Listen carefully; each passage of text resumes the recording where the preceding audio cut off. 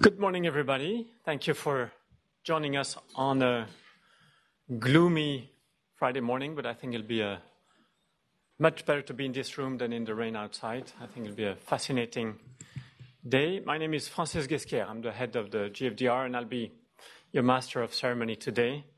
And uh, we have a very, very packed schedule with six, uh, I think, fascinating speakers from Japan. So let's not lose any time. I'd like to uh, welcome at the podium uh, Mr.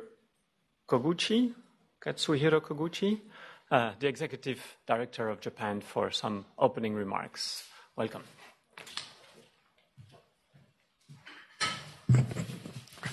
Thank you, Francis. Ladies and gentlemen, good morning. Thank you very much for coming to this seminar, uh, Tech for Bosai. Uh, the Bosai means the, uh, the prevention of uh, disasters in Japanese. Uh, Japan, unfortunately, is one of the, the most exposed countries to natural disasters in the world, from earthquakes, typhoons, flooding, and volcano eruptions. But we see uh, natural disasters all over the world. Last year saw uh, hurricanes in the Caribbean islands, uh, earthquakes in Mexico, monsoon flooding in Bangladesh, and so on.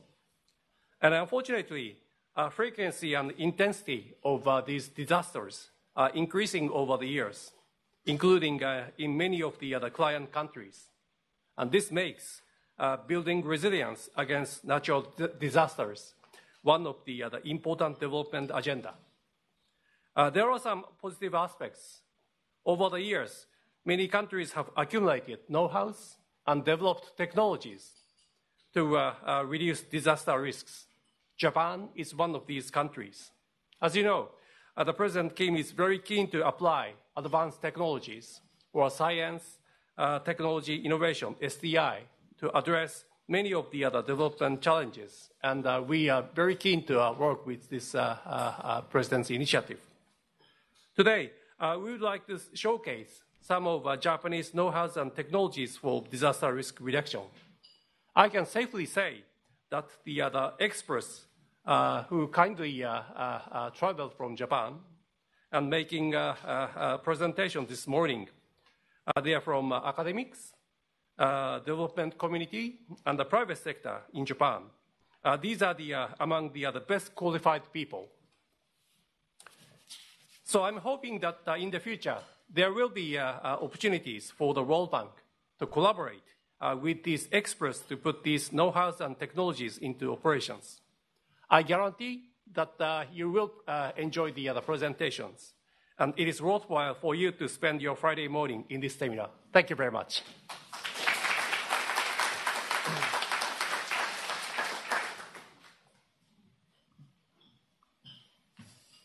Let me invite Klaus Tilmes, who's a senior advisor to the president on this new initiative on disruptive technology. Thank, thank you very much.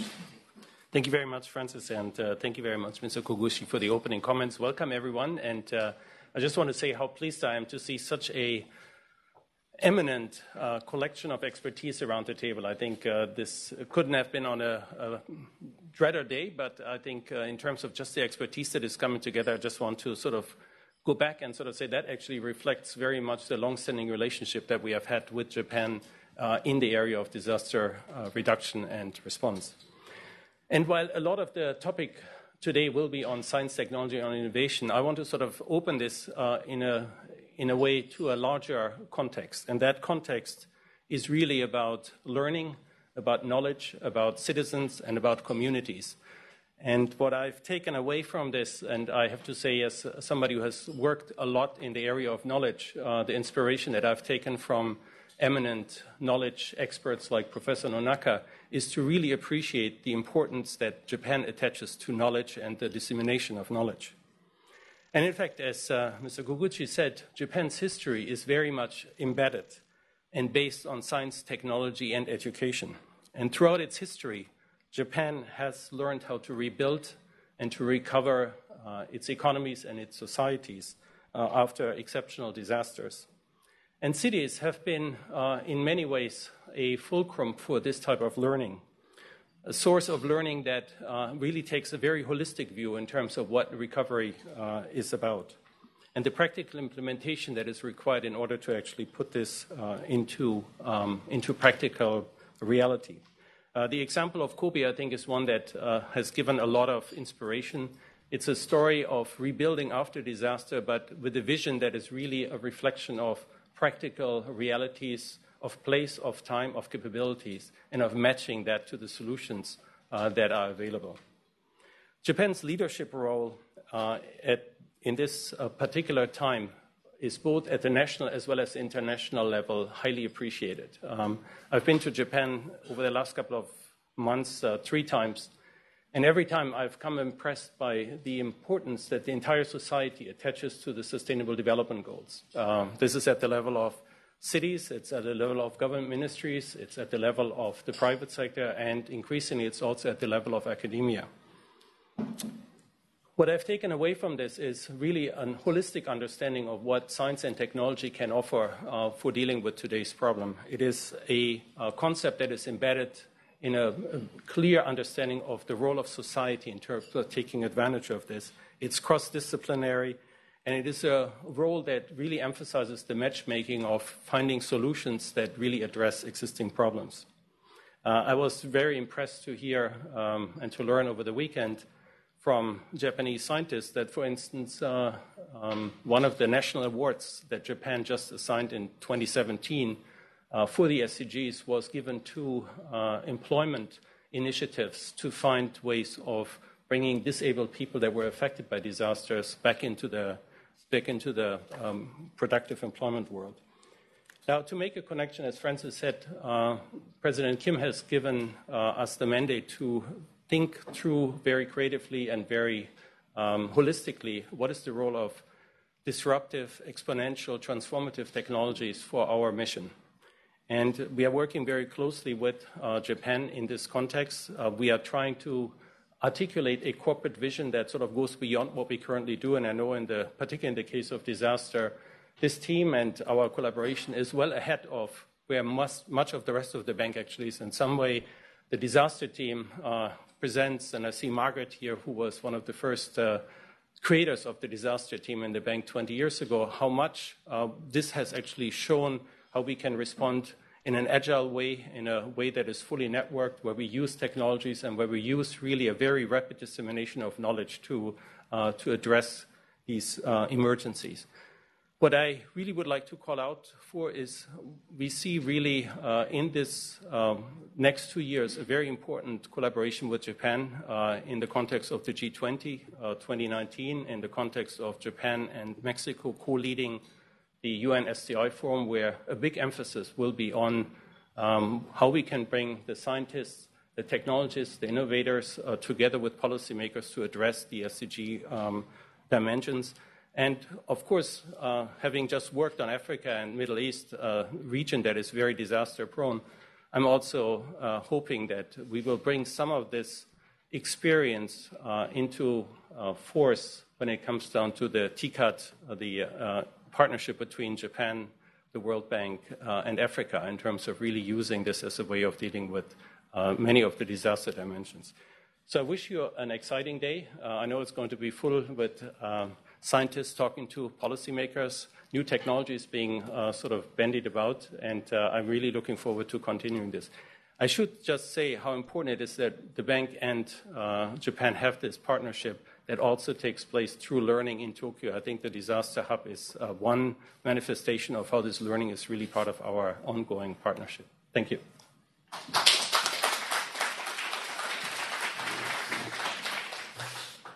Mr. Koguchi and Klaus, thank you very much.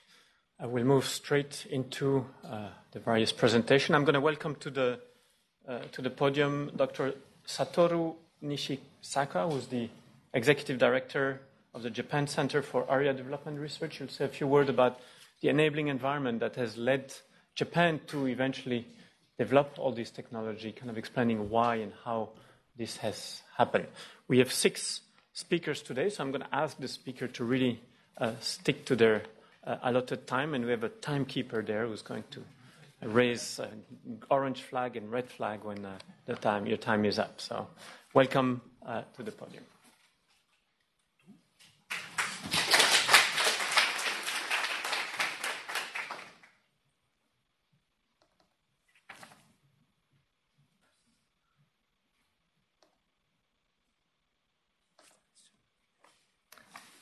Good morning. My name is Satoru Nishikawa. Today I'm going to touch upon how Japan has strived to overcome disasters and how we have tried to incorporate as much as possible uh, science and technology for disaster reduction.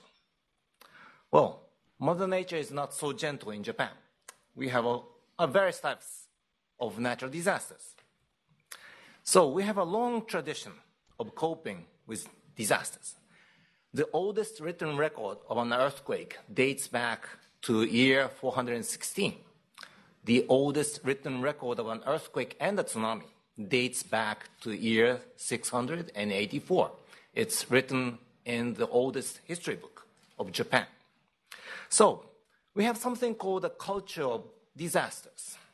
It was said that the most dreadful things historically for children in Japan was earthquakes, lightning and thunder, fire, and further. The force is no longer applicable, but this really represents how we have struggled with disasters. In the 7th and the 8th century, it was said that the most respected Buddhist priest was the best civil engineer. Gyoki, the high priest, and his fellow monks built dams for flood control and irrigation. And one of his dams still exist in Osaka as a water resource reservoir. The oldest high-rise wooden structure in Japan is a pagoda of the Horyuji Temple, built in 680 AD. It has withstood numerous earthquakes and typhoons over the centuries, with the combination of semi-flexible timberwork joints and a central wooden pillar which absorbs shocks. In the 16th century, it was said that the Lord who controls the river is the ruler of the land. There was a famous uh, samurai uh, warlord called Takeda Shingen who innovated uh, civil engineering techniques to absorb violent flooding. So these renowned Japanese priests and lords, why were they dedicated to disaster reduction? By introducing the flood control and irrigation technology, there would be fewer floods and droughts. That would mean greater rice produce, and it would lead to trust and fellowship by the locals and stability of the livelihoods of the locals. And that would enable them to expand their areas of influence. So they knew that disaster reduction is a must for sustainable development. This is a traditional ukiyo-e drawing uh, written right after the 1855 October Ansei Edo earthquake. Edo is the old name of Tokyo. By this earthquake, most of Edo, Tokyo, was burnt down by the earthquake and the consequent fires. And this drawing shows how the ordinary citizens of Edo wanted to beat the monster catfish, which was believed to have caused that earthquake. This is a graph showing the number of casualties by natural disasters in the last 70 years in Japan. And you can see three epoch making events. The first one was in 1959, the second was 1995, and most recently, the 2011 Great East Japan earthquake and tsunami. In 1959, the third largest city in Japan, Nagoya, was hit by a major typhoon. The flooding from upstream and the high tide and storm surge from the sea sandwiched the low lying areas of Nagoya, resulted in more than 5,000 casualties. This was the first epoch making turning point. And by this great typhoon damage, the Japanese government had a big argument on how to deal with disasters. So they changed their attitude from a response oriented approach to a preventive approach. and from an individual approach to a comprehensive multi-sectoral approach, and to invest for disaster reduction. Also, the three layers of the government in Japan, the national, prefecture, and municipal governments, were given responsibilities. Two years after the heated debate in the parliament, Japan came up with the Disaster Countermeasures Basic Act, and it has three major characteristics. The first is the Central Disaster Management Council, chaired by the Prime Minister. And this is a national coordinating body with all relevant ministers, and not only the government, the Red Cross, the public broadcasting, and other semi public sectors, and the academia. And it called for involvement of semi public private sectors like the utility companies, the railways, bus companies, forwarders, and broadcasting companies. Also, it made the duty for the government to submit an annual official report on disaster countermeasures to the National Diet. And this comes with the budget for the next fiscal year and the statements of account for the previous fiscal year. Also, this act called for the formulation of the National Basic Disaster Management Plan for disaster prevention. And this enabled investment for disaster prevention, for flood control, land conservation, forest conservation, investment for meteorological observation, investment for emergency telecoms. Also, on this occasion, the 1st of September was designated as the National Disaster Prevention Day. And thanks to these efforts, we were fairly able to control the casualties by uh, typhoons and flooding. Investment for science and technology. As you know, Mount Fuji is the highest peak in Japan. And because of its beautiful shape, it was worshipped as God in the historical days. But Japan Meteorological Agency made a good argument that instead of worshipping the mountain as a god, let's mount a meteorological radar to, for a better typhoon tracking. And they were successful. The 1961 Act formulated the Japanese National Platform for Disaster Reduction. And this is a list of the members of the Central Disaster Management Council. The Prime Minister is the chair. All the ministers of the cabinet is included. Also, the representatives of the Bank of Japan, the Red Cross, the public broadcasting, and the telephone company is there. Also, it should be noted that scientists, like the professor of geophysics or professor of sociology and media, are included in this uh, council. Of course, the prime minister is so busy that he cannot always attend these meetings. So there are special subcommittees or committees under this management council. And here, as you can see, there are various scientists, uh, NGOs, even CEO of business, major businesses are included. And this is a forum for the policymaker and the scientists and the private sector and the NGOs to have a direct dialogue on how to address disasters. This is a way to institutionalize science and technology into policy formulation. We have a lot of earthquakes and here's a list of the major earthquakes from 1945 to 1995. In 1948, Fukui was hit by a major disaster. At that time, most of the Japanese houses were made of wood. So they collapsed with the earthquake and caught fire. And most of the city of Fukui was burnt down. In 1968, a major earthquake hit the northern island of Hokkaido in Japan. At that time, we were starting to use steel reinforced concrete structures. But as you can see from this picture, many of them were damaged. In 1978, Sendai was hit by a disaster. Every time these earthquakes came, the Japanese seismic building codes were revised. In 1981, based on the series of earthquakes, there was a major revision. And it's not enough just to have a building code. It has to be enforced. And many countries with earthquakes struggle how to have the building standards to be observed.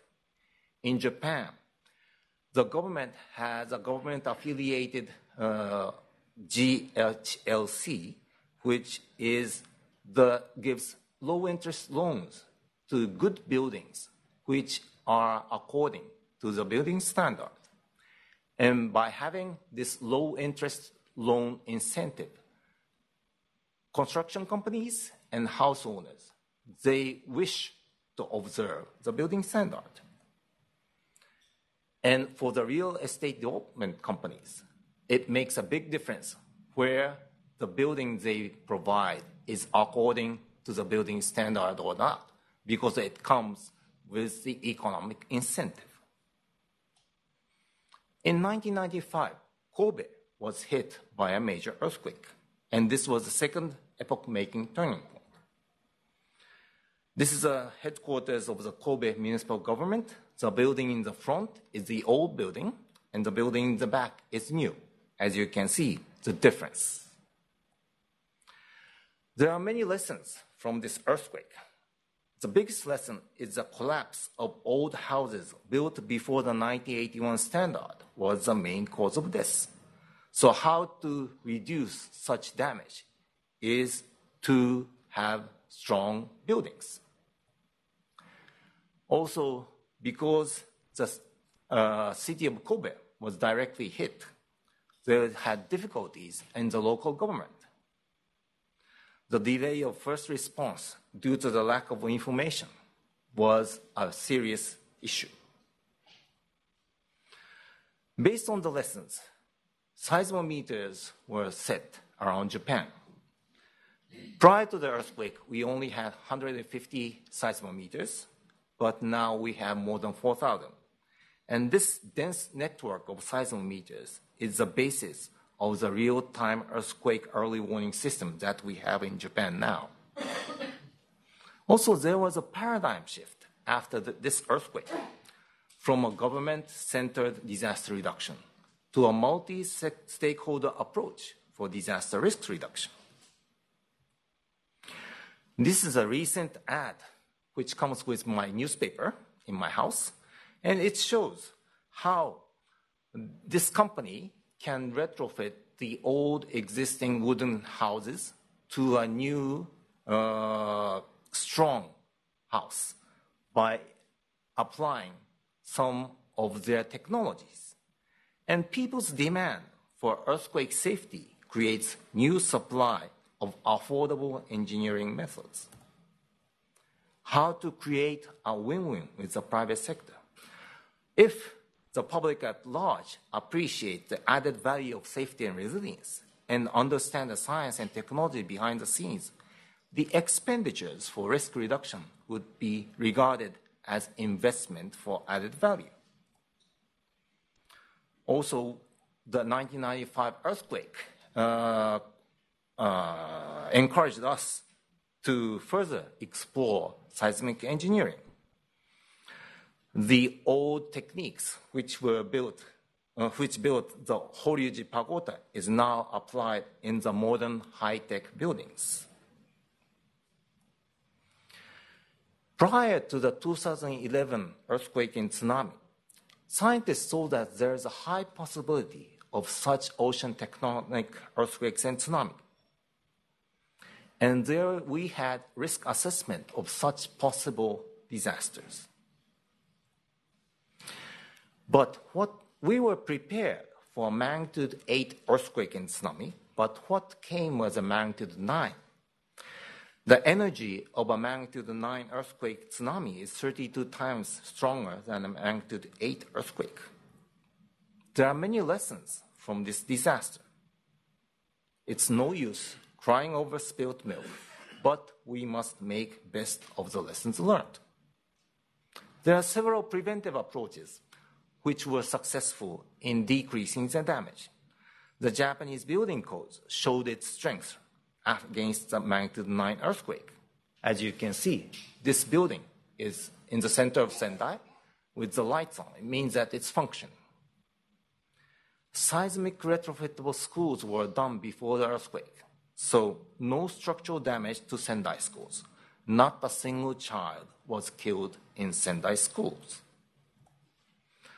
Also, the city of Kobe, uh, no, no, the city of Sendai, they carefully learned the lessons from Kobe.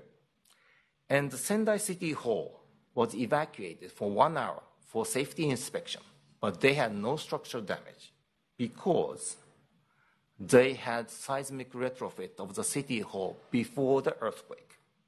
So, with these braces for seismic retrofitting, this saved the city hall and it served as temporary shelters. Also, we have some several applications of the latest technologies. All of the Japanese households with gas meters, they have this microchip controlled gas meter. And this is a safety mechanism to shut down gas in case of strong earthquakes. So there was no city fire in Sendai by gas leaks. Also, we have the real-time earthquake early warning system. And this takes advantage of the speed between the primary pressure wave and the secondary shake wave.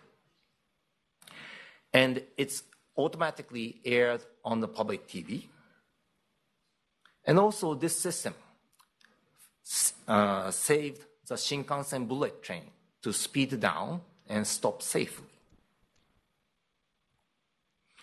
Also, tsunami warning was immediately issued. And the school children who were educated with disaster awareness programs, they ran to the high grounds. Massive evacuation was done. Approximately 500,000 people with in the tsunami inundated area. Majority of them escaped, but 20,000 did not make it. The mortality rate of the tsunami inundated area in the Indian Ocean tsunami was 40%. In the case of the Great East Japan earthquake, was 4%. And this is a difference by having a tsunami early warning system or not. But there's always a pitfall in human response. Some people questioned do I really need to evacuate? And how can we motivate individuals to take preventive action? That's a big topic.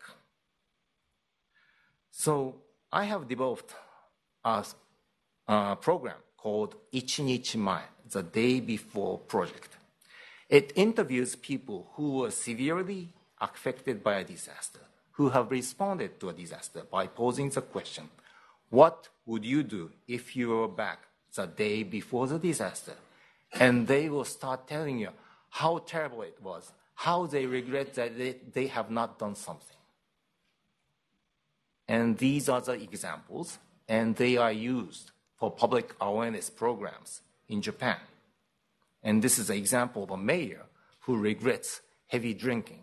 When an alert of a volcanic eruption came to his office, he was drunk and he was really regretting how he had failed to run to his office.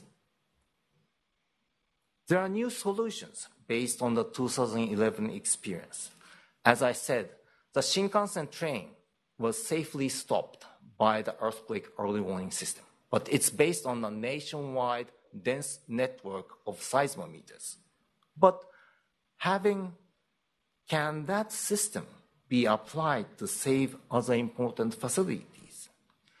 A new customized real-time earthquake early warning system was developed for countries who are not able to afford to have a dense network of seismometers. And this equipment can function as a standalone earthquake early warning system and can also function as a local earthquake early detection network with several installations.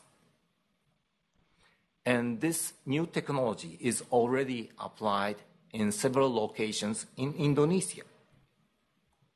Now, how to create a positive cycle by applying the latest science and technology is the challenge that we face.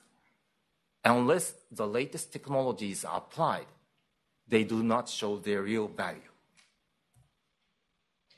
we have a saying in Japan natural disasters will hit us by the time people have forgotten about it. The challenge is how to foster and inherit the culture of prevention.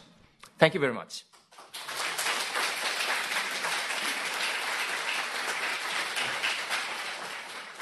Thank you, Dr. Nishikawa, for setting the stage really for today's presentation. I'm going to call to the podium Professor Toshio Koike, an old friend from ICHARM. ICHARM is the International Center for Water Hazard and Risk Management. You'll tell us about some of the research at ICHARM, some of the initiative that ICHARM is part of. I think it's a broad program. Again, uh, time check, please. Um, try to stay in the time imparted. Thank you very much. Welcome.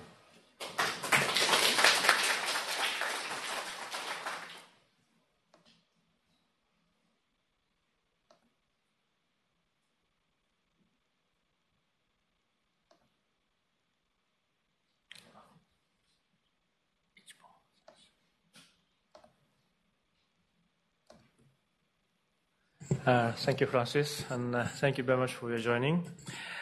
Uh, the, in 2015, we had uh, three uh, global agendas, and uh, our science and technology community are requested to take a concerted action for reducing the current risk and preventing the future risk, and also the develop the adaptation recovery capability.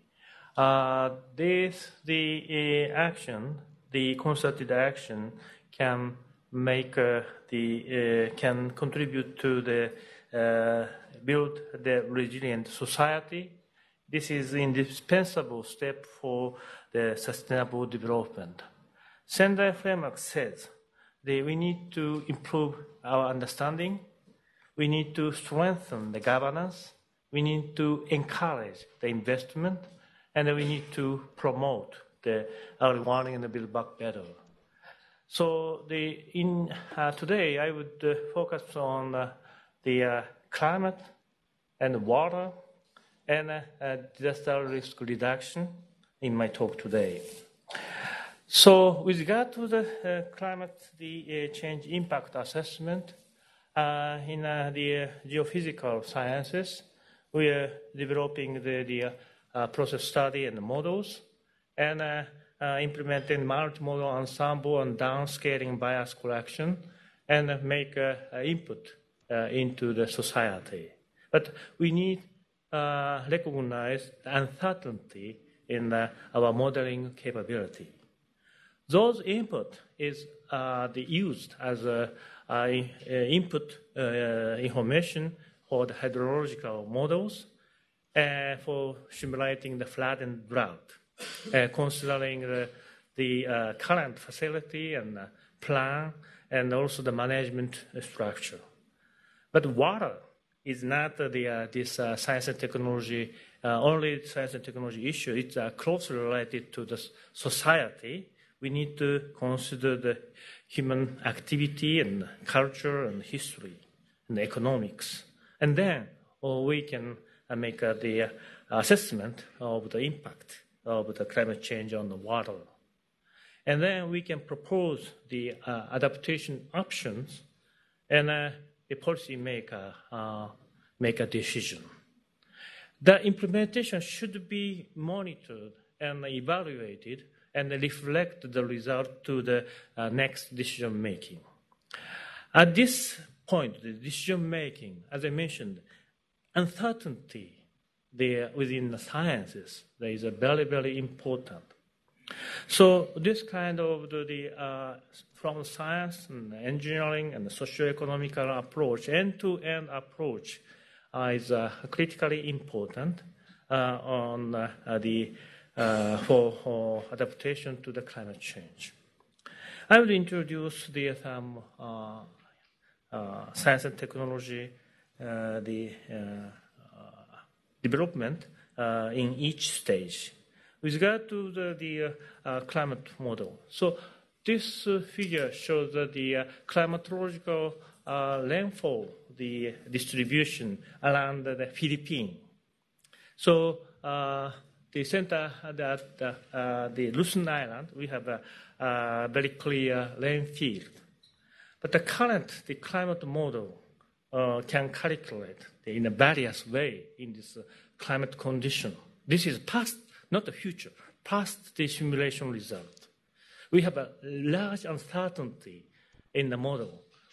We can make the conclusion on at the global scale, but the regional scale and the local scale, we still have a very big uncertainty. A very big the difference uh, between the actual situation and the model world. So when we apply the, this climate model to some specific region, uh, it's very difficult for us to say this is a good model. But we can exclude the bad model. So, so by using the, uh, some data system, we can evaluate the, the uh, model performance, and then we can select which can uh, select the models which can be used uh, the, uh, for the adaptation or impact assessment. So in this case, the uh, six models are selected. But the, even though such a model has a, have a, the big bias, usually extreme rainfall cannot be expressed uh, in uh, the correct way by using the global scale model. And model generate every day but weak rainfall. And seasonal pattern uh, cannot be expressed uh, in a proper way. We need to correct the bias. After that, we can the, uh, get the good relationship between the return period and the rainfall intensity in present status, and then we can uh, the, uh, pre- uh, project the future the change in the return period, and also the seasonal pattern. So right hand side, the Okay. Uh, right on side, the, uh, we have a six model output. Blue one uh, is the, uh, the observed the 10 year, 50 year, uh, 100 year rainfall in intensity in Luzon Island. And uh, the red one is the future, the rainfall of the each return period all of the selected six models showed a very big increase of the, this extreme rainfall. So that's why we have some confidence on uh, the increase of the heavy rainfall in future in this area. And then the, uh, we can the, uh, get the, uh, collect the uh, model uh, output as average and compared the, with the future average and identify the, the, the difference, how much increase. So this is a case of 10-year probability, and uh, in the same way, the uh, same way we, we can get the, uh, for example, 100-year probability, how much increase of the heavy rainfall in this area. So the, in this way, we can get the, uh, the uh, hazard change, uh, which can be introduced into the, our hydrological model. There are a lot of the hydrological model. Our ICHARM uh, the, provide the open access their uh, models. Uh, this is IFAS system. This is very simple, spatially distributed tank model. but simple but very usable and understandable for many experts. So uh, we can the, provide this uh, system as a first step of the, their own management of, or their own planning of the, uh, the uh, flood. Uh, rainfall runoff inundation uh, the system. This is a 2D uh, non-stable the flow, the uh, uh, diffusion wave, the system. So that's why we can calculate the not only the river flood but also the inundation and the its expansion of the flood. So by using this system and the climate model output, uh, we can uh, uh, the predict the, the, how much uh, change of the each the extreme rainfall. And uh, the uh, also, we have uh, the uh, rainfall prediction system by the regional climate model. Then we can develop the ensemble rainfall prediction by introducing the uncertainty into the model. By coupling the, this, uh, the, uh, uh, the rainfall prediction system and hydrological model, we can implement the ensemble flood prediction so the, uh, the middle figure shows the, the, uh, the, result. The uh, dot shows the observation. The, the green line shows the single prediction. But uh, the uh, pink line is the ensemble mean of the, the flood prediction. So we can improve the, the prediction capability. Hydrological processes, they consist of four components basically. One is the uh, uh, land surface energy and water balance, and uh, the soil moisture dynamics, and uh, the lateral flow on the slope, and river channel flow. These four uh, systems are connected. So by using this the uh, component model, we can expand the prediction capability by coupling with, uh, for example, dam operation, or the snow and glacier model, or rice production, the wheat production model. So uh, the, uh, in this case, uh, we eh, coupled the eh, eh, climate model output and this model and the dam operation system. the upper figure is the 20-year simulation of the reservoir level uh, from the uh, January 1st to the uh, end of December. And the lower figure shows the future from the 2046 to 2065 by inputting the climate model output as an input into the hydrological model. So uh, the sick line is the average of the 20 years the reservoir level. So this is 310 meter uh, reference height. You can understand the average of the uh, reservoir level decrease. This is the uh, negative impact of the uh, water resources management. And uh, we set the maximum water level at the dam for, for the safety uh, of the dam operation. In past, of course, we don't have, we didn't have such a big the uh, uh, uh increase of the water level, but in future, by using the uh, same operation rule, the, we will have an overflow from the dam. So, and the, this uh, the uh, area, uh, this uh, part shows uh, the high water demand season, and uh, the, the bottom line is the really empty level of the reservoir. So you can identify which is a much more dense lines. Yeah, future, the, a lot of the empty opportunity due to the uh, climate change. So this kind of the, the uh, simulation can be done. Uh, by coupling with the snow and the ice model, we can uh, calculate the very uh, the uh, snow and the glacier melt discharge very well. Not only the such the data, hydrological data, but also the snow covered area.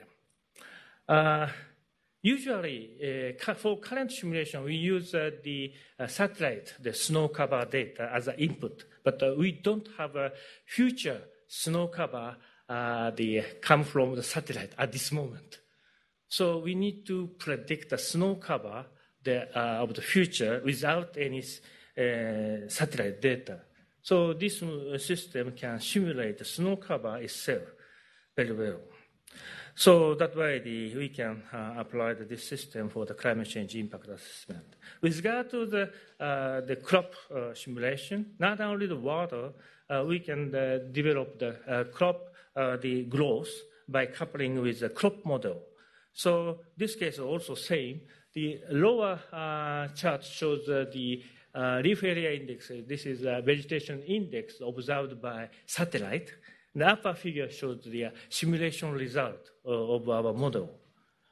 What kind of the benefit can be obtained from this one? This is the long-term the uh, agricultural drought simulation in Tunisia, North Africa, the, from the early uh, 1980s. So the orange line is the national statistics, statistics of the uh, uh, crop production of the Tunisia, and uh, the green line comes from our model. So the, there are two uh, serious agricultural drought uh, in this uh, country. So we can the, simulate the, this agricultural drought very well. So Satellite, the uh, data can uh, estimate the surface soil moisture uh, Uh, by using the uh, electromagnetic wave. Uh, one sensor uh, was uh, the on Aqua, the NASA satellite. The other one is the Shizuku satellite of the JAXA. But the, our crop model simulate the vegetation growth. Vegetation itself is water. So uh, soil moisture is horizontal water. The vegetation is standing water. We can identify the, these different water from the satellite. So if we can identify the vegetation water, that means there is uh, the water in the root zone. Uh, only satellite, we cannot uh, observe the, the root zone soil moisture, but uh, such invisible uh, water uh, soil moisture can be simulated by coupling the model and the satellite. So by using this uh, kind of the technology, uh, we can the, uh, monitor and predict the drought. This is a case of the, the Somalia drought in 2010-11 the, by using the ensemble simulation, we can uh, predict uh, the uh, 10 months the drought prediction the, in this case. So, uh, and the heavy rainfall that happens so often, in this case, is uh, the, the heavy rainfall in northern Kyushu island of Japan during the 12 hours, more than 550 millimeter rainfall happened. So a lot of the debris flow in the basin. So the, uh, uh, the debris flow the, uh, cause uh, the, uh, some sediment, uh, the sedimentation, and the, the, sediment is transported by flood and change the, the mid-reach, the, the uh, the mid, mid reach the, the, topography and uh, cause a serious di- disaster. So by using the, the uh, uh, sediment transport and flood physics, uh, we can uh, simulate the debris flow. And also the, the, uh, that uh, the sediment transport system, uh, we can simulate the, that the catastrophic the, the flood disaster, which cause uh, the, uh, the which change the topographical the uh, condition and cause serious the damage. So finally, the uh, socio-economical aspect, the, by using the, the, fragility curve of the crop uh, production, uh, in this case it's rice production at each stage, and each inundation depth and the duration of the inundation, how much uh, uh, the impact on uh, the rice production. So then we can convert the such inundation depth and duration to the economic loss, and it can be applied to the climate change impact assessment of the flood, flood on the the, the agriculture, the benefit. So, and uh, such kind of the information uh, can be shared with the local resident community, and uh, uh they can uh, consider the, uh, their the contingency plan by themselves. And each the community of residents develop such a contingency plan, and in the municipality at the meeting they exchange their idea. So in this way, uh, we uh, covered the end-to-end approach on the climate change adaptation. Finally, I want to emphasize what can realize this kind of the, uh, activity. Uh, we have a huge volume of data. Climate model. Uh, in the uh, IPCC assessment report fourth era in 2007, uh, 40 terabyte. In the assessment report, fifth, 2.6 petabyte. So huge increase of the data should be managed. And uh, we need to provide the uh, quality information to the user. So uh, veracity of the data and information is strongly requested. And high throughput data from satellite model uh, the, and the radar uh, should be managed in real time basis.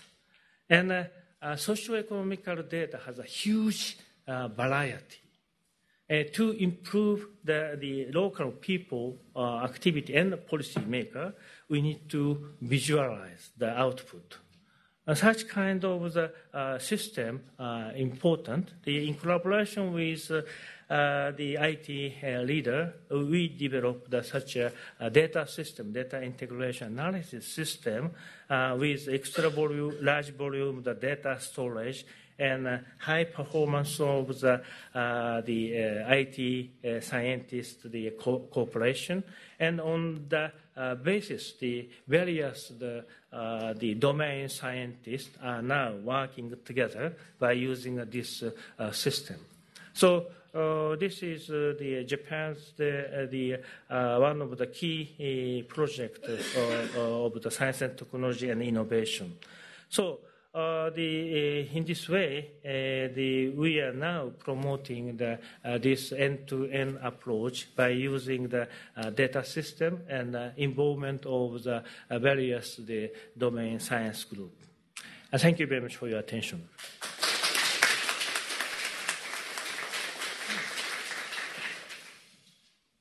Thank you very much, Professor Koike. We're, we're now going to uh, move to uh, some of our uh, speakers from the private sector. And before we start, I'd like to invite uh, Hiro uh, Nishiguchi, who's the president and uh, chair of the Bosai Forum, which is a, a fascinating group that really tries to bring together private sector and public sector on handling. Good to see you.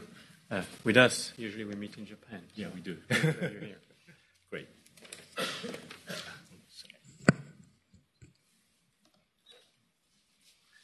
Okay.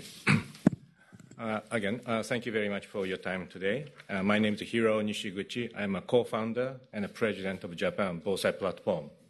Uh, Bosai in Japanese means that holistic approach to reduce uh, disaster impacts. And with that, I, by the way, uh, my job is to uh, help large corporations to become more innovative. I do it for a living, and so I speak about disaster risk reduction today uh, from that uh, uh, angle. Oh, by the way, I have no slides, but I have three messages. Okay, number one, the, the purpose of Japan Bosai platform is, is in fact saving before disaster. Then what are we saving? They are uh, people, communities, and economy and society. And uh, we don't see disaster risk reduction as a charity or donation work. We see as a critical component of a national growth strategy. Okay? With that, we have created a focal point of private sector companies in 2014 and in fact, in designing a Japan Bosai platform or JBP, we had multiple discussions with actually GFDRR, both in uh, actually particularly in uh, Washington D.C., sometimes in Tokyo, because we thought that creating such a focal point to work with international community like you is critically important for to reduce uh, disaster risk reduction and, in other words, saving people before disaster. And we have more than 100 uh, plus uh, companies within, our, within this community and across all sectors. This is not an industry association, and in fact, is, uh, this is the first uh, this is the first cross-industry association to uh, work with international community like you. And, uh, re- and we, are, we have actually developed a solution map which describe various technologies and methodology so that we can share with you at your headquarters and also with your uh, field offices. And I'm, uh, I will be asking our ED office to send the link uh, to uh, the solution map uh, to the people who are interested in uh, knowing more about it. And I think in, that, in, in doing so, in fact, uh, from uh, innovation perspective, the very interesting uh, phenomenon, phenomena is happening within the private sector. The, most of the private sector companies are changing their business model, particularly in terms of how to collaborate with other uh, entities. And I would say it is a shift from a vendor relationship to partnership relationship.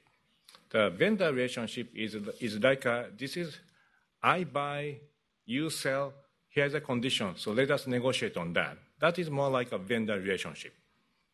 And uh, private sector companies are realizing that that is not so sustainable anymore, particularly uh, when we are facing this uh, uh rapidly changing digital economy and uh, etc.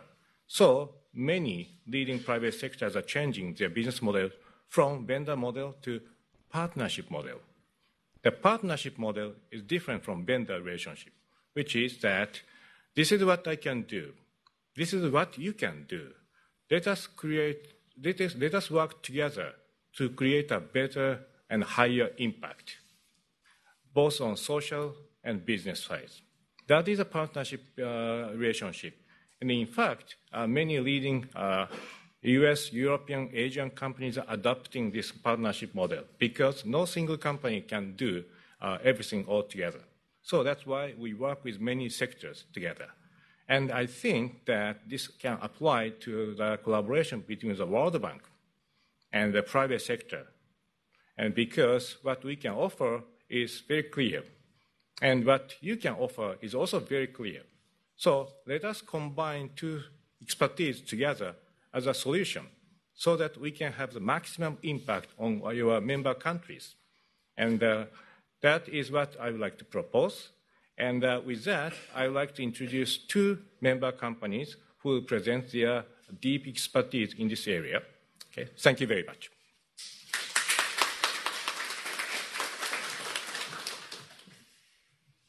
Thank you, uh, Mr. Uh, Nishiguchi, and thank you for your uh, support and your partnership in Tokyo. It's always been great to uh, have you as a, as a partner help us uh, connect with Japanese company. Our first uh, speaker from the private sector will be Mr.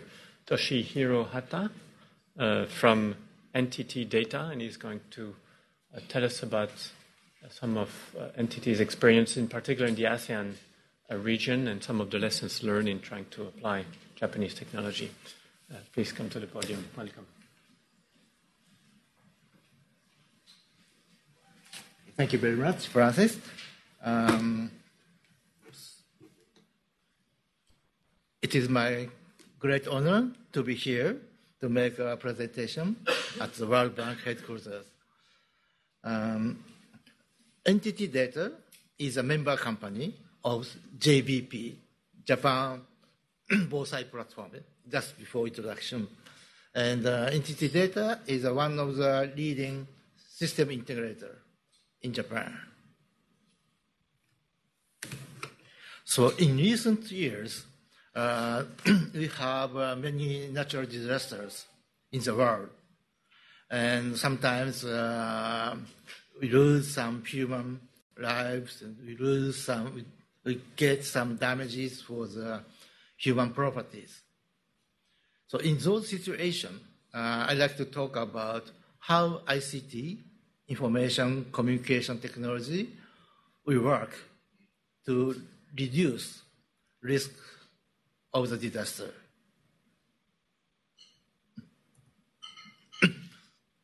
so this is the contents. The first one is uh, Japan's implementation of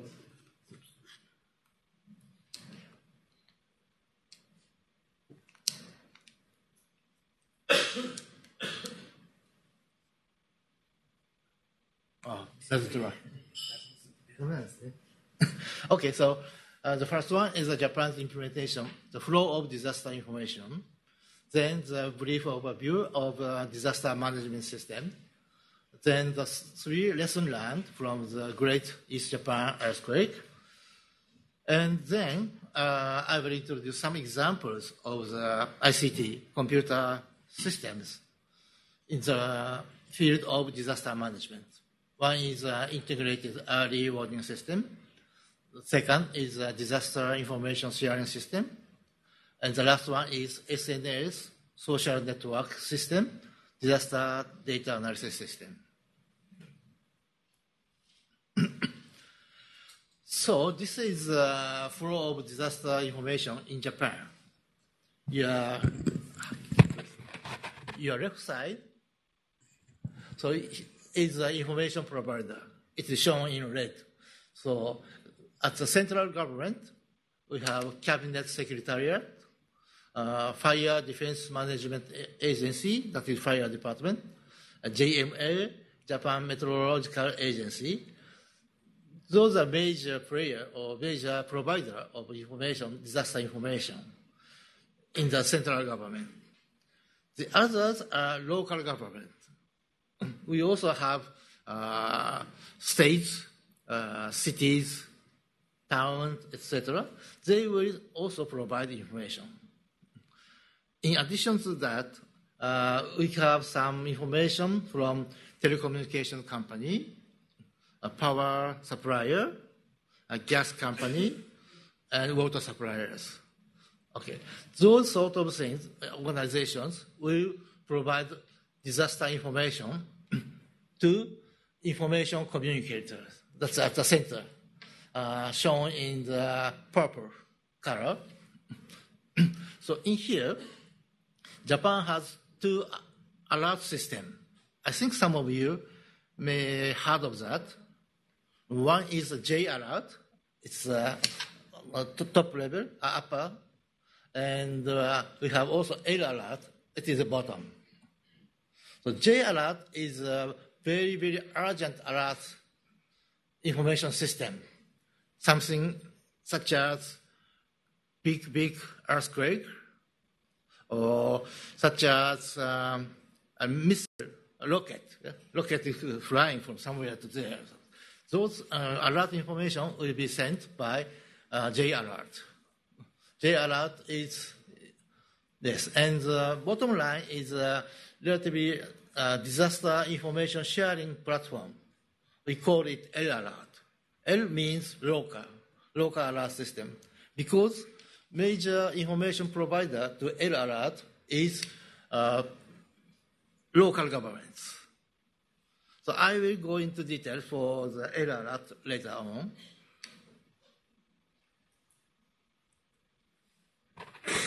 Okay. This is um, an overview of disaster related system. Uh, so we classified into three parts. The left side is uh, monitoring and uh, collection, collecting information, such as food, flood information, monitoring camera, etc.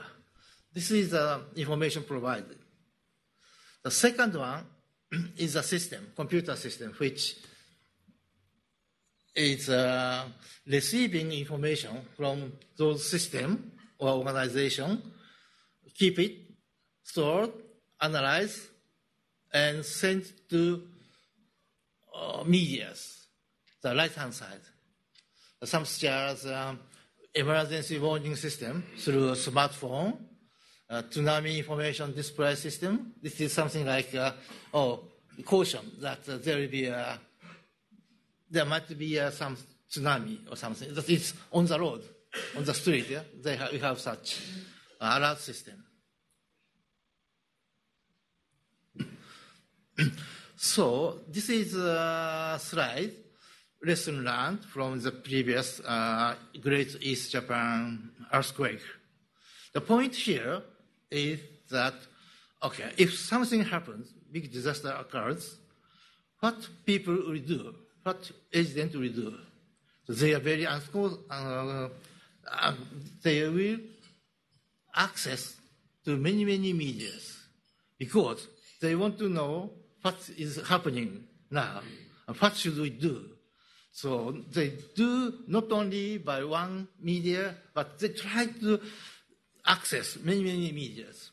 For example, here, some people use telephone, some people use email, some people go to see TV, radio, or someone may uh, access internet.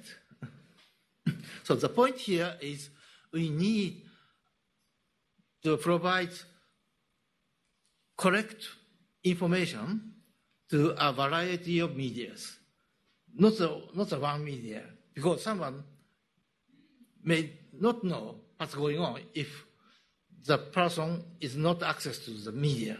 So for that purpose, yes, uh, one thing is uh, integrated early warning system. So left side again, if disaster occurs, so information there is the tsunami information, earthquake, heavy rain, uh, flood might be a climate change or something, and the volcano. Those information will be sent to central system. We call it L alert. And here, important thing is the bottom line, evacuation order. So evacuation order is issued by local government, such as something governor of the city, because he knows or she knows very well about the area. So if this is happening, okay, I have to, uh, we have to send evacuation order to the residents here. Those information will be sent to L alert. then the L alert system sends the same information at the same time to a variety of media. So cell, cell broadcasting, silence, TV, smartphones. the next one is uh, something uh, in the ASEAN member states. Actually, I was an ICT cons- I am a, still an ICT consultant of the ASEAN member uh, AHA Center. So AHA Center is a ASEAN Coordinating Center for Humanitarian Assistance on Disaster Management. This organization was formed uh, in 2011 in Jakarta. Okay. They constructed a system, that uh, disaster information system, and all other member cities, member companies, countries can access to this system. This is quite good because um, member states need only the usual laptop or PCs.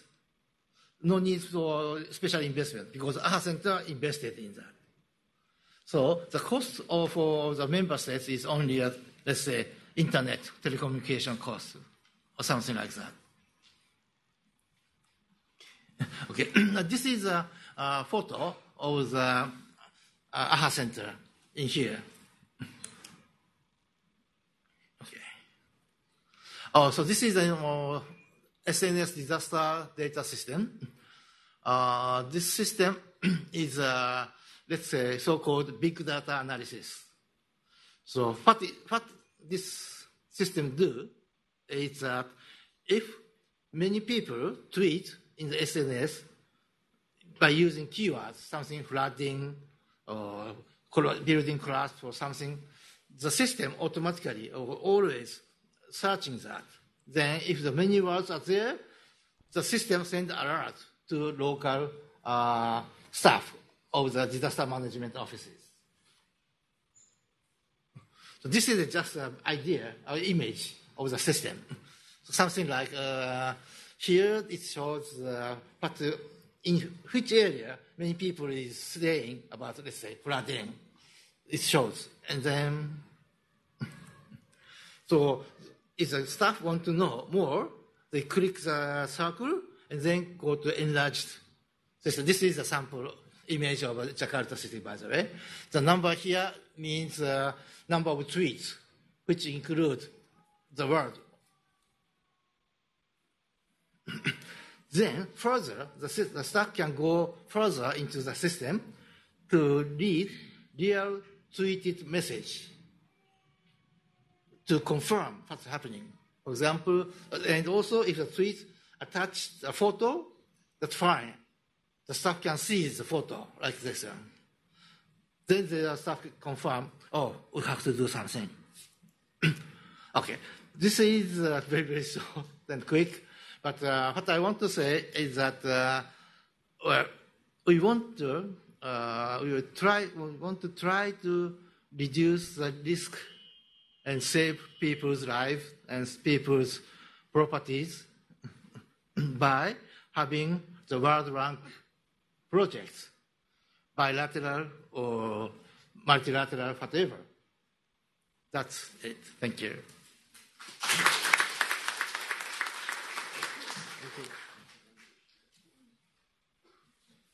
Thank you very much, Mr. Hatta. Uh, I'd like now to call to the podium Mr. Isa Nori Yaigashi from um, Limited. is going to talk about some of the new technology applied to big infrastructure, I understand.